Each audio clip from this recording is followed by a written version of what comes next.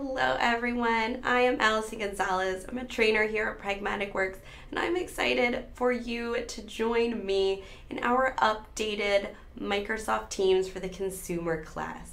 We went through our existing course and re recorded it start to finish. So, adding in and changing modules to ensure that you are getting the most up to date information.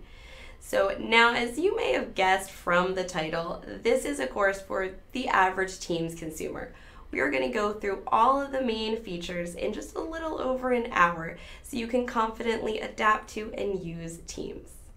So, in this class, we are going to cover an introduction to Teams, which will include a tour around all of the navigation and buttons that you will use. We will also get into and spend a nice amount of time looking at your settings and your, how to change your notifications as well. We're then going to really spend uh, the rest of the class focusing on what is the difference and what is teams and channels, talking about the communication that we can have in teams in the form of chats and calls, and wrapping everything up with some meeting best practices.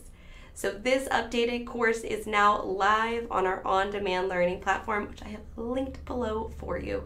So I am excited for you to come on over and learn with me. I will see you there.